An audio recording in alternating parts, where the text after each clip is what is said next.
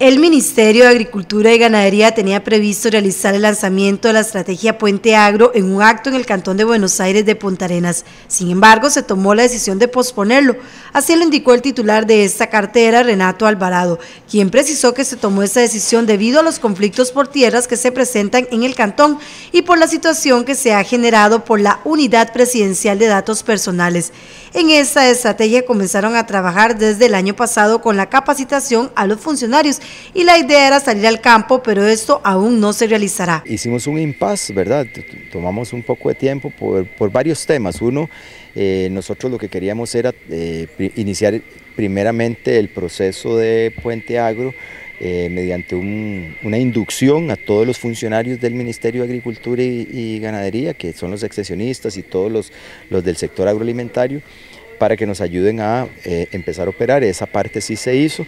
La otra, el otro ejercicio que se iba a hacer era ya salir a, campo, a empezar a hacer las primeras entrevistas, pero eh, debido a los eventos que se sucedieron en esta semana sobre el tema de la UPAP, eh, decidimos que era mejor darle tiempo a que esa situación este, se resuelva ¿verdad? y que se esclarezcan los nublados del día eh, y que una vez que eso se dé, pues entonces nosotros hacer el lanzamiento con toda la transparencia del mundo de lo que es Puente Agro. Pejivalle y Platanares de Pérez Celedón, San Vito de Cotobruz y Buenos Aires de Punta Arenas son los cuatro distritos prioritarios como parte de la estrategia Puente Agro en la región Brunca. Porque eh, la idea es nosotros también ir a los agricultores y levantar la información que los agricultores eh, tienen, que no es una información privada, sino que es una información de, cosas muy generales, ¿verdad? ¿Cuál es la actividad en la que están? ¿Cuál es el tamaño de la finca que tienen?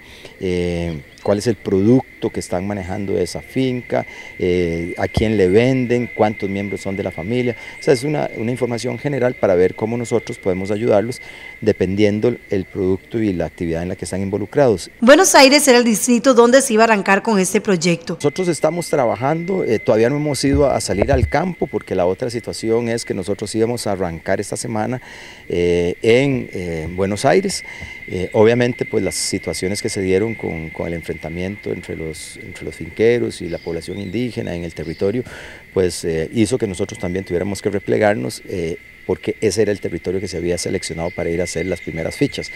Eh, dado eso, pues entonces también suspendimos esa, esa situación. Entonces, dos eventos que, que, lo que queremos es que no empañen el lanzamiento del, del puente agro y del esfuerzo que hemos venido construyendo con la gente del ministerio y otras instituciones para poder eh, ir a atender directamente y puntualmente a las personas que están necesitando de atención del sector agropecuario, entonces lo estamos dejando para, para unos días después para poder avanzar ya con, con ese tema. En Puente Agro se articula el trabajo de todas las instituciones del sector agropecuario y de entidades afines para llevar bienestar a las familias productoras mediante el fortalecimiento de servicios de extensión agropecuaria, financiamiento, fortalecimiento agroempresarial, comercialización y apoyo para la asociatividad con una visión en temas de género, juventud y adaptación al cambio climático.